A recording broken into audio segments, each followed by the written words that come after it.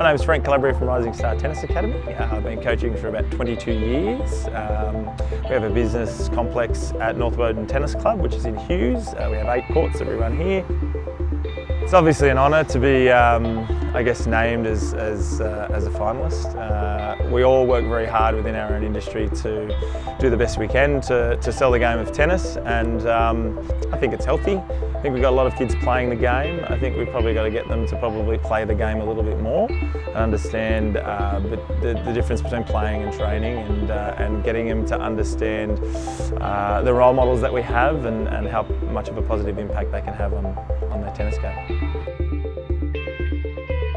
Yeah, so my name's Miles Emery. I've been playing tennis since I was about four years old. I've been coaching here at Active Tennis Coaching at the Braddon Tennis Club for about two years now. Yeah, I'm really passionate about the game and um, love every aspect of tennis. Uh, the most rewarding thing about my job is seeing our ANZ hotshot players progress through not only as tennis players but as young adults. We've seen great progress at the club over the last two years, building up to over 100 players playing here a week at the club. Tennis Australia have great programs that we run here at the Braddon Tennis Club and yeah, I just see tennis continuing to expand, participation numbers um, and everything to do with this awesome game.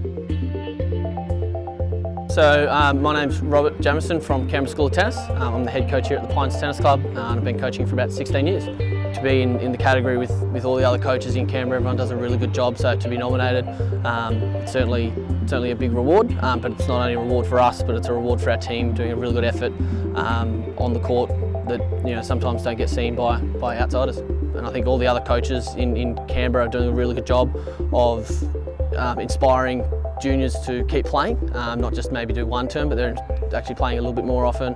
We should have a, a pretty bright future with, with kids continuing to play um, through well into their, their adult life.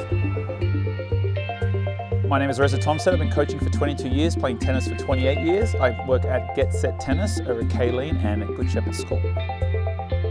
I like to call it the aha moment when someone, a student of mine, gets that moment where they make that shot or they understand that coaching tip or they click on something they've been working on for a long time.